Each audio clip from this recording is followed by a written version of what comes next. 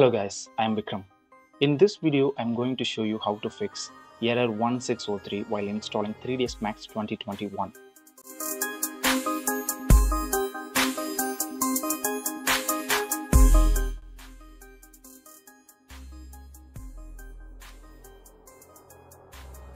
If you are using the Autodesk 3ds Max 2021 installer obtained from the browsing download or download now method, then we need to replace the original pkg.ags.xml file. Let me show you how you can do that. Go to this link, I'll put the link in the description below.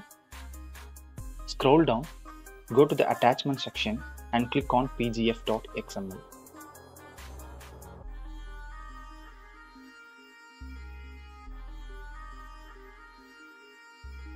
Right click and save us and navigate to the original pkg file and replace it.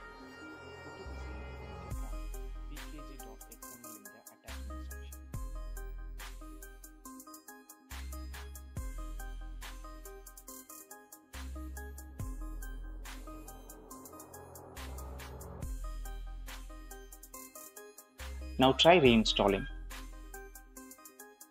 That's it guys. Thank you guys for watching this. If you manage to fix the error 1603, then make sure you like and subscribe. Until next video, stay safe, stay healthy. Peace.